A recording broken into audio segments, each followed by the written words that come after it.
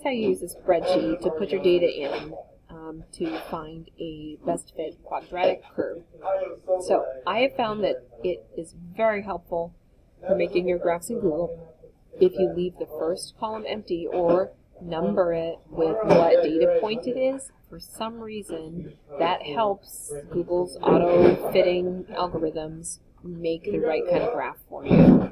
So my other two columns are time and position. I'm using meters and seconds, respectively, to the right label, because that's what we want to find our acceleration. So, so I'm going to go through and put my times in. There's a couple ways you could do this. You'll notice that if you put in just 1 60th, whenever you have a number that's over here, it means that this cell is treating this like text.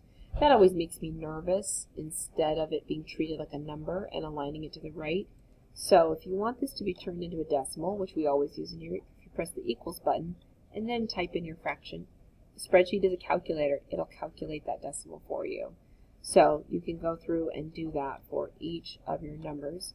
Or if you're lazy like me, you can do a formula for that. You press equals. I want data point 3 divided by 60. And that formula I can copy and paste into all of the cells here.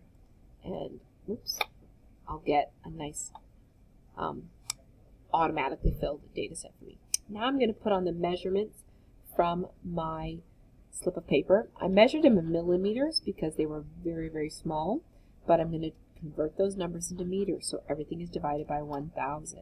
So my numbers are, oops, oh, too many. Three,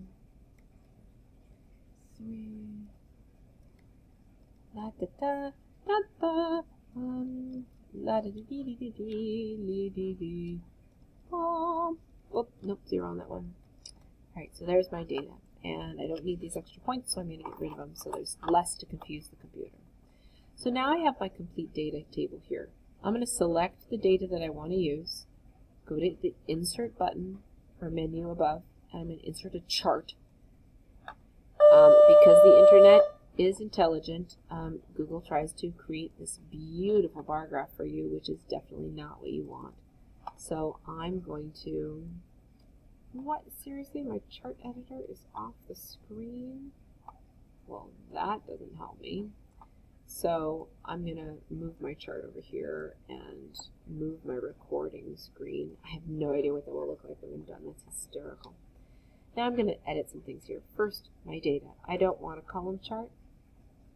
I want a scatter plot. You'll see immediately that made a huge difference and I've got already, I can see that, see that slight curve in my data there. So I'm going to go over to the customize part of my chart editor. I'm going to customize the series. I'm going to put a trend line on there that is polynomial because this is a quadratic equation and I want to label it with the equation that the spreadsheet will solve for me.